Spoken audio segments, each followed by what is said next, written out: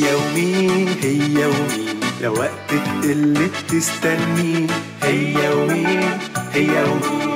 ما هو علشان هي ومين؟ هي ومين؟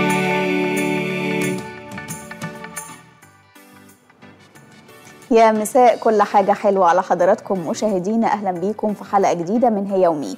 زي ما حضراتكم متعودين بنكون معاكم كل سبت واثنين وخميس من دلوقتي ولمدة ساعة ونص على الهواء مباشرة. برحب بحضراتكم وبزمايلي خلف الكاميرات. عايزة بقى أقول لكم النهاردة إن الجمال هو أكتر حاجة بتخلي الواحد واثق في نفسه قادر إن هو يتعامل مبسوط بحياته مبسوط بشغله. الجمال ليه معايير كتيرة جدا. أهم حاجة في الجمال ده البشرة. البشرة لما تكون صافية وهادية كده ورايقة الدنيا بتبقى جميلة مع الواحد. خصوصا بقى في ساعات كده بيبقى عندنا مناسبات مثلا ولا حاجة تلاقي حاجات كده طلعت في البشرة تخلي الواحد إن هو مش عارف أحضر المناسبه دي يا ربي طب دي في حاجات كده خاصة بالمناسبات. حاجة كده تخليني متضايقة وأنا رايحة المناسبة.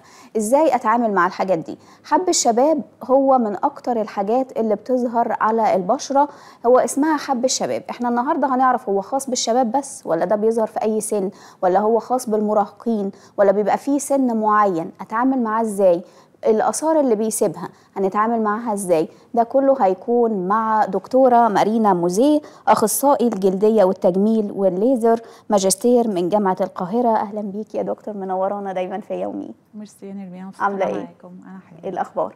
يعني آه الأول انت اخترتي إن إحنا نتكلم عن حب الشباب. اخترتي الموضوع ده ليه؟ علشان خاطر دي أكتر حاجة أو أكتر مشكلة منتشرة بقابلها في العيادة عندي لازم كل يوم بيعدي عليا بتكون في حالة أو حالتين عندهم حالة بالشباب جايين يشتكوا منها أو من الآثار التبعيات بتاعت حب الشباب. والفئة العمرية اللي هي من 11 ل 30 سنة تقريبا 80% من الناس في الفئة العمرية دي بيكون عندهم حبوب. فهي مشكلة منتشرة جدا حتى وسط العيلة بتاعتنا ممكن يكون في فرد أو فردين أو أكتر عندهم حبوب.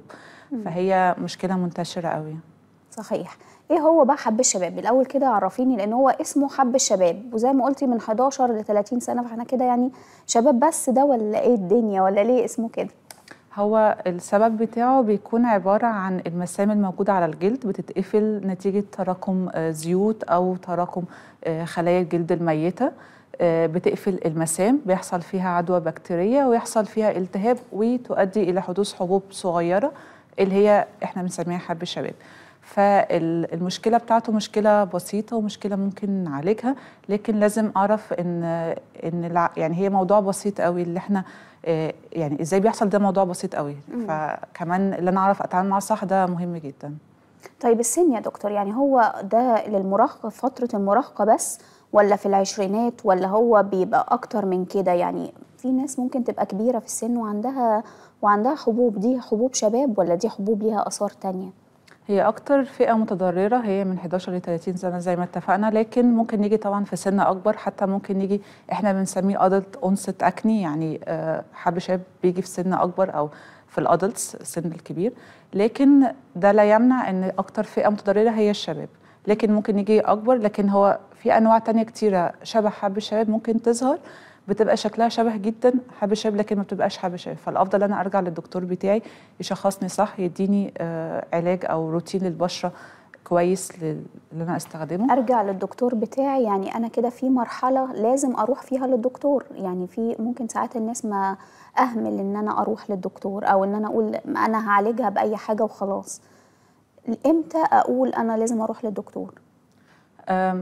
أهم حاجة ان أنا أعرف الأول إيه النوع اللي عندي. لو أنا عرفت إيه النوع اللي عندي هقدر وقتها أتعامل معاه صح. عشان إحنا ممكن كتير نستخدم حاجات آه، مثلا skin care products أو منتجات عنايه للبشرة تكون مش مناسبة للبشرة بتاعتي. آه، كتير مثلا ممكن تكون صاحبتي قالت لي على حاجة معينة آه، شفت إعلان مثلا لمنتج معين أستخدمه. فوقتها مناسب أو مش مناسب للبشرة بتاعتي ده اللي بيحدده الدكتور. يعني مناسب لنوع البشرة نفسها. بالظبط. هي إيه أنواع البشرة يا دكتور؟ أنواع البشرة آه، تقريبا أربع أو خمس أنواع. آه، بعرفها إزاي؟ أغسل وشي وبعد ما أغسل وشي أستنى ساعة. وبعد الساعة دي ممكن أشوف قدام المراية أشوف تجمع الزيوت على البشرة آه، موجودة فين. أو أستخدم حاجة اسمها ورق زبدة موجود عندنا في معظم البيوت ورق موجود في زبدة؟ المطبخ. آه. وأحطه على البشرة بتاعتي بعد ساعة من ما أنا غسلت وشي. ولو البشرة بتاعتي كلها فيها دهون يبقى دي بشرة دهنية. لو هي موجودة في ال T-zone T-zone اللي هي في منطقة الجبهة ومنطقة الأنف ومنطقة الدقن يبقى دي بشرة مختلطة. لو مش موجود خالص غالبا هتبقى بشرة آه، عادية. آه، لو بشرتي جافة بتبقى بشرة آه، معظم الوقت بتبقى ناشفة. على طول بيحصل فيها قشور خفيفة. على طول بتلتهب لأي منتجات بستخدمها بستخدم عليها على بشرتي. أو ممكن تكون بشرة حساسة بتكون زي severe form أو بش أو نوع شديد من البشرة الجافة اللي هي بشرة طول متحسسة آه، أقل تعرض للشمس الاقيها احمرت أو حصل لها التهاب. ده البشرة الحساسة. فبناء على كل نوع من أنواع البشرة أنا بستخدم لها أنواع معينة آه، من منتجات عناية البشره فاللي بيعمل الكلام ده كله بيعمل اسسمنت أو اللي بيعمل تحديد لنوع البشرة بتاعتي هو دكتور الجلدية لما أنا بتكلم معاه. ولازم أكون برضو عارفة المعلومات دي معلومات آه، لازم كل آه، بنت يعني تبقى لازم وأنا رايحة للدكتوره أبقى عارفة نوع بشرتي إيه. بالظبط. وبناء عليها بستخدم بقى منتجات عنايه للبشرة تناسب البشرة بتاعتي. علشان خاطر لو أنا مثلا بشرتي دهنية استخدمت لها أنواع تقيلة شوية للبشرة الجافة غالبا هيقفل المسام. لما تتقفل المسام بيحصل عدوى بكتيرية ويحصل حبوب. فقبل أي حاجة لازم أستخدم منتجات عنايه للبشرة آه، تناسب البشرة بتاعتي. يعني أنواع البشرة هي بتبقى ليها دور في أنواع الحبوب صح؟ يعني الحبوب أنواع. آه، الحبوب نفسها ليها أنواع بس هي أكتر بشرة معرضة غالبا بشرة الدهنيه عشان دي أكتر بشرة بتفرز دهون آه، عشان فيها غدد دهنية بتكون hyperactive أو بتفرز أكتر آه، دهون. والبشره الجافة أو البشرة الحساسة غالبا ما بيبقاش فيهم حبوب قوي. لكن لو أنا استخدمت أنواع خاطئة من منتجات العنايه بالبشرة ممكن أؤدي إن بشرتي تبقى فيها حبوب أكتر. آه، أنواع. حب الشباب بتكون ثلاث أنواع. دي تقسيمة بسيطة قوي ممكن أعرف بيها إيه النوع اللي عندي. في نوع بسيط في نوع متوسط في نوع شديد. النوع البسيط بتكون عبارة عن رؤوس بيضاء أو رؤوس سوداء وحبوب صغيرة حمراء غير ملتهبة. النوع المتوسط عبارة عن حبوب حمراء ملتهبة و آه، أو ممكن تكون حبوب صديدية وبتكون غالبا موجودة على الوجه. النوع الشديد بتكون حبوب حمراء ملتهبة كبيرة زي شوية دي يا دكتور؟ بالظبط زي ده النوع البسيط. آه، هنا بتبقى فيه رؤوس بيضاء ورؤوس سوداء وشوية حبوب صغيرة. ده النوع البسيط. آه، ده النوع البسيط آه، برضو. بس التانية كتير قوي يعني ال... لو الحبوب حمراء جداً. شوية كده وملتهبة أكتر ممكن تبقى بسيط أو متوسط. يعني ممكن نكون أوكي. دخلنا في المرحله المتوسطه ودي إيه؟ دي نوع الشديد بتكون عبارة عن حبوب حمراء كبيرة شوية ومعاها حبوب صديدية بتكون موجودة على الوجه وممكن حبوب تكون صديدية؟ بالظبط. مم. دي يعني صديدية فيها- يعني فيها فيها فيها حاجة؟ صديد بالظبط. أو فيها باس أو فيها صديد. بيبقى لونها أخضر كده شوية أو لونها أصفر وبتكون موجودة في مناطق كتيرة آه، غير الوجه بتكون موجودة في مناطق تانية على الجسم. مم. فالتفرقة دي بتحدد العلاج بتاعنا. فلازم أكون أنا عارفة إيه أكتر آه، نوع عندي أو إيه النوع اللي عندي من حب الشاب عشان بناء عليه بنحدد العلاج. يعني الحبوب مش بس في الوش لا ممكن تظهر في أماكن تانية في الجسم. هي أكتر أماكن ممكن تظهر فيها هي منطقة الصدر أو منطقة الكتف أو منطقة الظهر وطبعا موجودة في الوجه. لكن ممكن نشوفها في أي مكان. يعني دي أكتر أماكن مشهورة عشان فيها غدد دهنية أكتر فبيحصل فيها إفراز أكتر للدهون وتقفل المسام. لكن ده لا يمنع إن ممكن تكون موجودة في أماكن تانية. طب يا دكتور إحنا لما نلاقي بقى حاجة زي كده في أخطاء كتير في التعامل معاها. إزاي يعني المريض أو بحالة زي دي يتعامل بشكل صح. أهم حاجة ان أنا أبعد إيدي خالص عن وشي ده مهم جدا جدا جدا. لو ظهر لو أخدت بالي إن ابتدت تظهر عندي حبوب أمنع خالص إيدي إن هي تقرب على وشي. ليه؟ معظم الحالات اللي بتجيلي بتكون شافت حباية مثلا بتبقى غالبا زي ما حضرتك قلتي كده قبل event معين قبل مناسبة معينة في شوية توتر في شوية آه، يعني هرمونات متلخبطة شوية نتيجة مثلا توتر بسبب ال event ده. فببقى مش قادرة إن أنا أقعد على بعضي كده من غير ما ألعب في الحبوب. لو أنا لعبت فيها ده غالبا بيحصل التهاب أكتر في الحبوب وبيحصل وقتها إن هي تسيب أثر. حتى لو حباية نفسها خفت لكن بتسيب بعد كده أثر. فأهم حاجة إن أنا أبعد إيدي خالص عن وشي. ودي نقطة مهمة جدا جدا جدا. أيوة. النقطة التانية اللي أنا حتى استخدامي اليومي مثلا للموبايلات أحاول إن أنا برضو ما أخليش الموبايل بتاعي يقرب من وشي وبعد كده أرجع آه، أفتح مثلا أي applications أو آه، أستخدمه عشان ممكن بكتيريا تتنقل من إيدي للوش بالطريقة دي. فأخلي دايما معايا كده زي wipes أو زي مناديل آه، معقمة في الشنطة بتاعتي وأمسح بطريقة يعني كل شوية بطريقة دورية كده أمسح الموبايل بتاعي. دي حاجتين مهمين جدا لازم أخد بالي منهم في اليوم بتاعي. والحاجة النقطة الثالثه اللي إحنا اتكلمنا عليها اللي إحنا لازم أستخدم منتجات عناية بالبشرة تكون مناسبة لنوع البشرة بتاعتي عشان ما تقفلش المسام بتاعتي وتؤدي لظهور حبوب.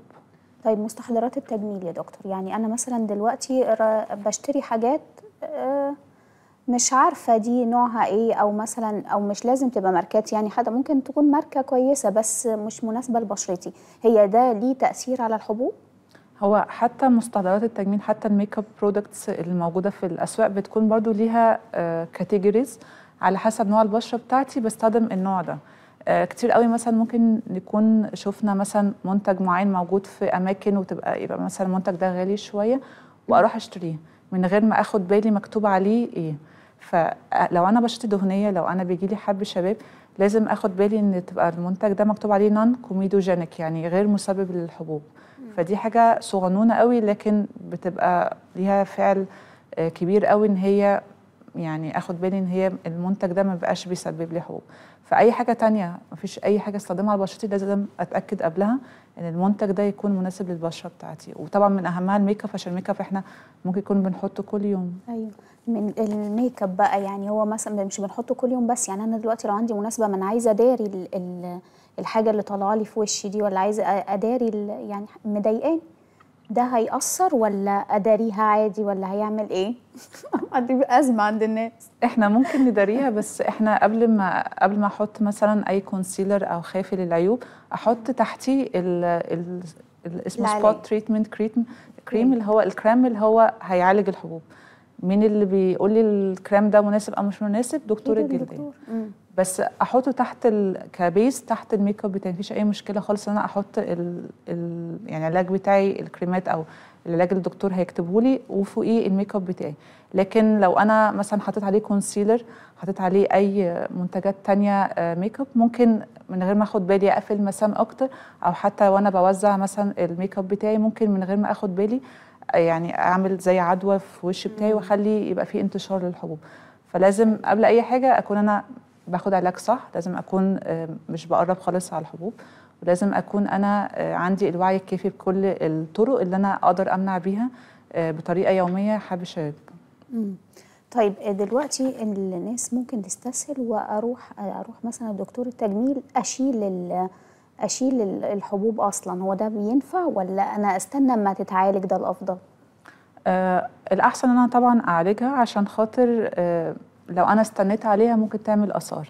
لو أنا حاولت أخفيها أو حاولت إن أنا آم، أعالج الآثار نفسها ده مش صح. لازم أعالج الأول الحبوب اللي موجودة كلها ولما الوش يكون صافي مفيش بس غير آثار. وقتها بتعامل بطريقة مختلفة ك- حتى كدكتور مع مع الحالة اللي جاية لي اللي أنا أعالج الآثار. آه، بحدد العلاج بتاع الحبوب على حسب هي نوعها إيه. لو هي نوع بسيط غالبا الدكتور بيكتب لي skin care routine مناسب ليا من غسول من واقي شمس من مرطب بتكون كلها أنواع مناسبة للبشرة الدهنية.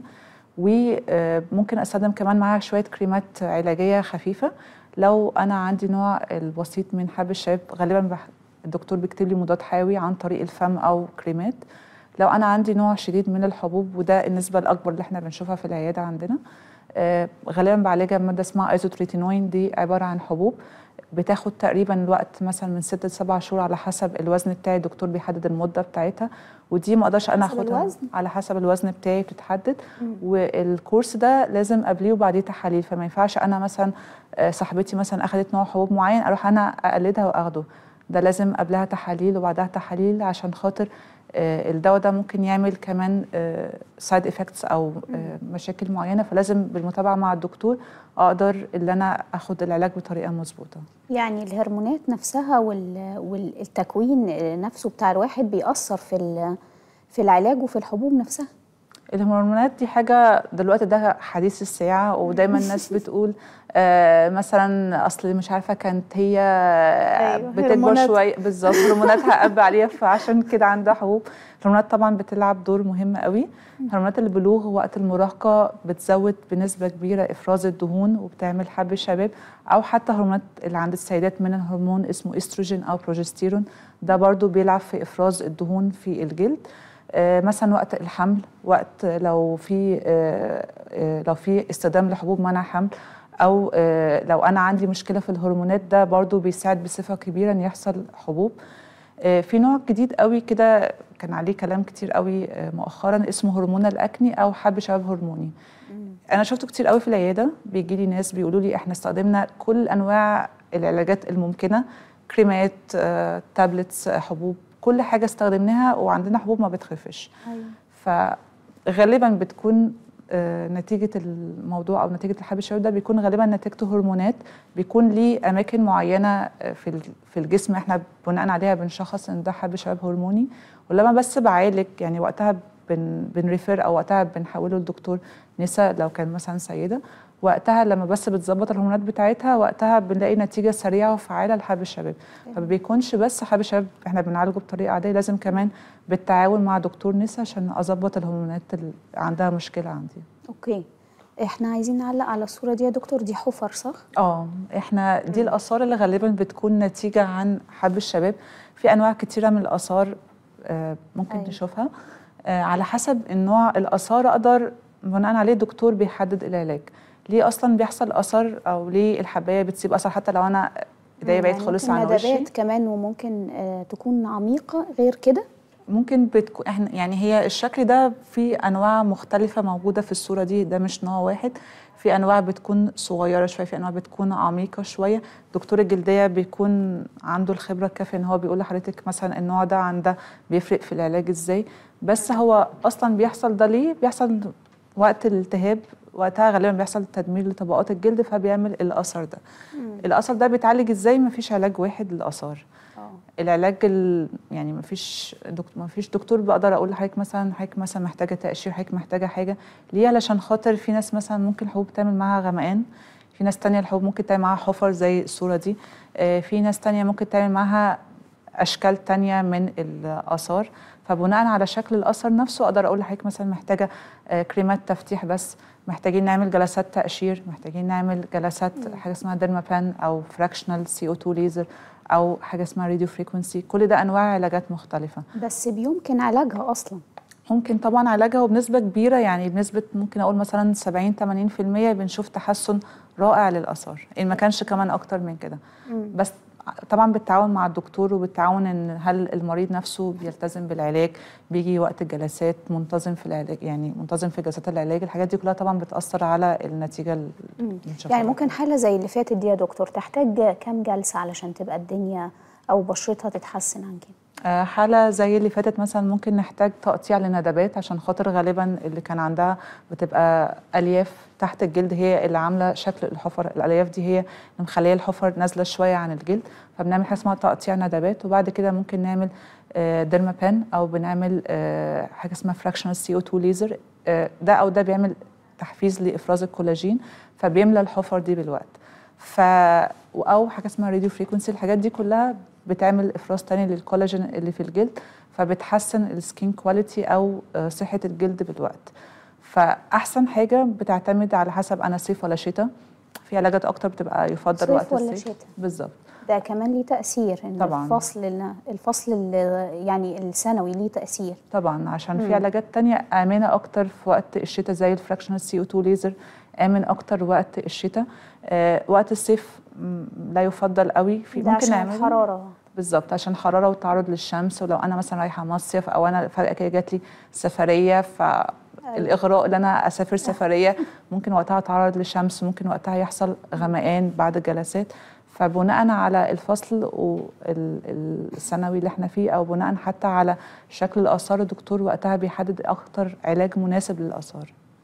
طيب آه لو مثلا آه عندي مش قادرة أروح للدكتور مثلا أو ما في ناس بتهمل. ممكن أدور على النت أشوف بقى إيه ممكن حاجات مثلا تشيل لو في تصبغات لو في بقع بقع سودة مثلا أو بقع غامقة أو زي حفر زي دي. هو ممكن الماسكات والحاجات دي تجيب نتيجة مع البشرة ولا لأ؟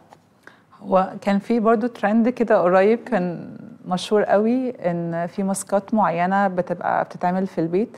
ممكن أحطها على بشرتي وتعمل تقشير وتعالج الحبوب أي. آه، في ناس كتير قوي اتعالجت بالطريقة دي وحتى ناس قالت لبعض كده وحصل نسبه علاج شوية بس برضو إحنا كدكاترة شفنا بقى الجانب الآخر من الماسكات. دي آه. بالظبط إن في ناس بشرتها غير مناسبة إن يحصل أو تحط الماسكات دي على بشرتها وحصل لها تحسس ما عرفتش تتعامل إزاي بطريقة صح مع التحسس وقتها بقى جات لنا بمضاعفات إن الحبوب دي التهبت قوي قوي عملت آثار وآثار شكلها كان صعب قوي. لو وقتها كانت اتعالجت من الأول بطريقة صح ما كانش شفنا شكل الآثار وأخدنا وقت طويل عشان نقدر نعالجها.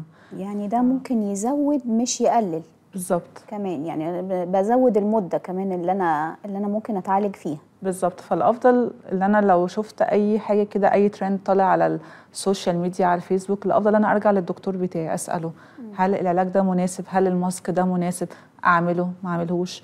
الدكتور هياخد الكلام بتاعي هيقرأ عليه لو هو مثلا ترند طالع جديد أيوة. هيشوف إيه أكتر آه، أو إيه المكونات بتاعة ال mask أو الكريم اللي أنا بسأل عليه ووقتها بناء عليه هيقول لي إذا كان ده مناسب ولا لأ. الانجريدينتس أو المكونات بتاعه كل حاجة بستخدمها ممكن تعالج أو ممكن تبقى تسبب تهيج أكتر. فاللي بيحدد الكلام ده كله دكتور الجلدية اللي أنا متابعة معاه. جميل. طب يا دكتور في أكلات بقى معينة ممكن تأثر بالسلب أو الإيجاب؟ يعني ممكن مثلا هو زي ما حضرتك قلتي البشرة الدهنية. طب ما في أكلات ممكن تزود الموضوع صح؟ يعني هو في آراء مختلفة عن الموضوع الأكلات لكن بصفة كبيرة في أكلات إحنا كدكاترة بنقول لأي حد بيعاني إن هو بيجيله على طول بطريقة دورية حبشات بنقول له يحاول يبعد عنها خالص. من أهمها المنتجات السكرية زي الشوكولاتات الأكل الدهني زي الوجبات السريعة آه الأكل الكربوهيدرات الكربوهيدرات زي الرز المكرونة العيش. آه أو الأكل كمان المنتجات الألبان. هو طبعا يعني ده تقريبا كل الأكل. بس مش حاجة طيب. الأفضل ان إحنا أقلل من الأكل ده. طبعا ما أقدرش أقول لأي حد جاي ما أقدرش أقول له يمتنع خالص عن الأكل ده عشان خاطر معظم الأكل هيكون فيه بطريقة أو بأخرى مكون من المكونات دي. فالأفضل أنا أقلل منها. لو مثلا أنا طالب على طول متعود أنا بجيب اكلي من بره مش باكل من البيت أحاول أنا أقلل الأكل الجاهز عشان خاطر أكل الجاهز الدهون ال- المهدرجة اللي موجودة جواه ده بصفة كبيرة بيزود إفراز الدهون عندي وبيعمل لي حبوب. لو أنا مثلا آه، بحب جدا منتجات الألبان أحاول اقلل شوية. ما أقدرش أقول طبعا للسيدات إن هي توقف أو تقلل منتجات الألبان قوي عشان خاطر آه، إحنا بنحتاجه للكالسيوم بتاعنا بالذات السيدات عشان خاطر آه، بعد كده آه، وقت وقت ال menopause أو وقت سن اليأس بيحصل مشكلة في الهشاشة أو مشكلة في العظم. فالأفضل إن أنا أحاول بطريقة أو بأخرى أقلل استهلاك الأكل ده. ما اوقفوش خالص لكن أقلل الاستهلاك على قد ما أقدر. طيب آه، ال chocolate dark ليها برضو نفس التأثير؟ ال dark chocolate أو الشوكولاتة اللي هي بتبقاش فيها ألبان بصفة كبيرة بيقولوا إن هي بتبقى فيها antioxidants أو مضادات أكسدة آه بيقولوا إن هي صحية أكتر لكن برضو ما فيش كلام اتقال قوي عن إذا كانت هي كويسة أو مش كويسة. فممكن عشان دي فيها بتبقى برضو نسبة سكريات آه ممكن أحاول أقلل منها لكن اتقال برضو إن هي ممكن تبقى مفيدة بطريقة أو بأخرى. طب كويس الحمد لله. طلعنا بحاجة. ناكل حاجة. طلعنا بحاجة. طيب يا دكتور عايزين بقى نتكلم عن طرق العلاج. يعني دلوقتي حضرتك قلتي في أنواع كتير وفي ممكن آثار كتير تتسبب حفر تصبغات ندبات في بقى حاجات كتير. عايزة حضرتك تكلمينا كده عن طرق العلاج. نعمل إيه؟ آه، ممكن أعالج بكريمات لو هي أنواع بسيطة آه، أو لو نوع متوسط ممكن أعالجه بحبوب أو نوع شديد بعالجه بنوع تاني من الحبوب لكن أهم حاجة إن أنا ما أخدش أي علاج معين من نفسي. أهم حاجة إن أنا لازم أرجع زي ما اتفقنا دكتور الجلدية اللي أنا بتابع معاه. آه، شكل الآثار غالبا بيحتاج جلسات ما بيحتاجش كريمات أو بيحتاج حبوب بيحتاج جلسات آه، مثلا تقشير أو جلسات dermapen أو جلسات آه، laser fractional CO2 laser أو radio frequency ممكن دكاترة كمان بتحقن filler يعني ممكن أوصل لمرحلة اللي أنا لو عندي الندبات دي عميقة جدا جدا تحت الجلد ممكن أحتاج أحقن filler عشان عميقة زي الصورة اللي فاتت دي اللي هي مسببة حفر تقريبا. بالظبط. في دكاترة ممكن حتى تحقنها. يعني دي بتبقى مرحلة شوية متأخرة لو أنا عملت كذا حاجة. ممكن دكاترة بتحقن very diluted form أو آه، يعني filler بتبقى مخفف جدا. إن أنا أحاول أرفع الندبات دي. يعني في حالات ممكن تستدعي إن أنا أستخدم وسيلة تجميلية. بالظبط. بالظبط. بس قبل أي حاجة لازم أكون أنا آه، برجع لدكتور بتاعي عشان خاطر ما أكونش أنا بجرب بأي طريقة من نفسي تسبب أكتر إن أنا يبقى عندي حبوب أو آثار. لازم أكون أي حاجة برجع بيها وبستشفي فيها دكتور اللي اللي أنا متابعة معاه. آه، طيب دكتور عايزين نعلق على الصورة دي؟ آه دي حالة كانت جات لي حالة من الحالات اللي أنا بحبها قوي على الصفة الشخصية. أنا أعرف البنت دي شخصيا. أيوة. آه، حياتها تغيرت كتير قوي بعد العلاج. عشان خاطر كان حد مميز حد very active حد نشط جدا آه، في المجال بتاعها. وبعد العلاج حالتها النفسية اتحسنت كتير قوي قوي قوي قوي بعد ما الحبوب خفت. أيوة. كان الحاجة عشان إحنا زي ما اتفقنا إن الصفة العمرية متضررة بتبقى الشباب اللي هي من 11 ل 30 سنة تقريبا أكتر ناس بيجي لها حالة شبه هي في المرحلة دي. فدي أكتر فئة بتتعامل مع ال social media. عندها فيسبوك account عندها إنستجرام account عندها غالبا تيك توك account. ومثلا ومجتمع. عايزة تتعامل معاه ممكن تسبب حالة من النفسيه إن هم يتأثروا سلبا وده عايزة أتكلم فيه. يعني الحالة النفسية ليها تأثير في أصلا في ظهور آه، حب الشباب أو عموما في الحبوب. في إن هي تأثر على بشرتي بشكل مش كويس؟ طبعا الحالة النفسية لو أنا متوترة شوية بيفرز هرمون اسمه كورتيزول في الجسم. الهرمون ده غالبا بيعمل وقتها إفراز أكتر للدهون ويعمل حب شباب فطبعا الحالة النفسية بتؤثر بصفة كبيرة. ولما أنا بعالج حب الحبوب اللي عندي ده بيخليني آه، مبسوطة أكتر آه، سعيد بي- بيحسن جدا جدا الثقة آه، بنفسي.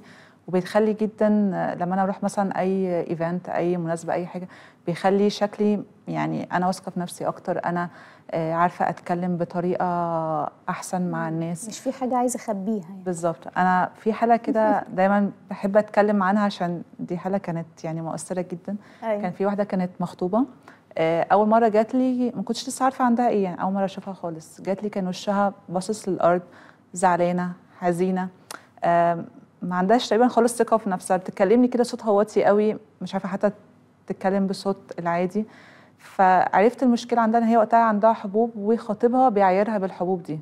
وقتها كان دي أكتر يعني حاجة مؤرقاها كلام خطيبها. حتى هي مش فارق قوي معاها شكلها على قد ما فارق معاها كلام خطيبها المستمر. إن هي يعني شكلها وحش إن هي آه كان في كلام كتير قوي اهانه كان بيتقال.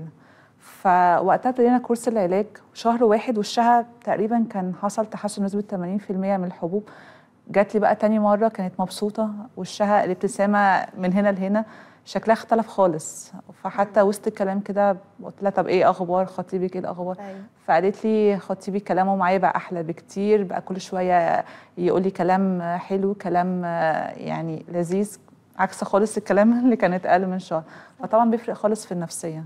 وبيفرق جدا لو أنا مثلا في ثانوية عامة بقابل زمايلي بقابل أصحابي لو أنا في جامعة لو أنا في شغل بيفرق جدا في كل جوانب الحياة لأن يكون وشي صافي طبعا. يكون وشي شكله حلو بيأثر على النفسية بتاعتي بيأثر على آه يعني اللي أنا أقدر أأدي شغلي بطريقة أحسن بيأثر على كل جوانب حياتي.